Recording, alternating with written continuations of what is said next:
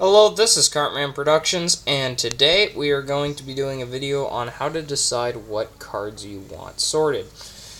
Or, sorted. Traded! um, well, what cards you want to trade out from your Pokemon collection. If I can speak today. Um, anyways, let's go through here.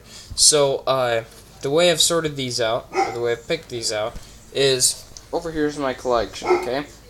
If I have a duplicate of any card, it goes in here. And then I sell these cards for 50 cents a piece.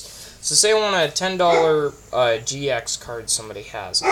Uh, I would give them 20 of these cards for it because these are 50 cents each, and 20 of these match the value of one of those. That's how I do my trading.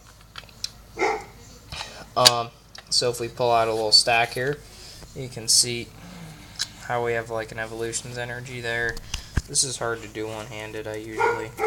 This is going to make a mess. Um, there's a Magnemite, a uh, Caterpie, blah, blah, blah. Whatever. Anyways, um, those are all cards that I already have in my collection. And so these cards are ones that get traded out. That's how I do that. Leave a comment uh, on this video if you have any questions. I'll put those later. Um, if you have an idea for a new video, uh, let me know. Uh, we will be doing some videos on go-karts, gas scooters, my Franken scooter, which is ridiculous. Um, yeah, you'll be seeing a video of that. You'll be seeing a video of it driving, all that. Um, then I'm also working on an old 1960s Honda 50.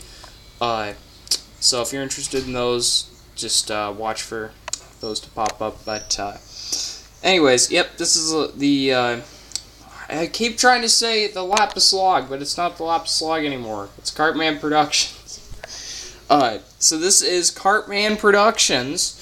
Um, I'll see you in the next one. Bye!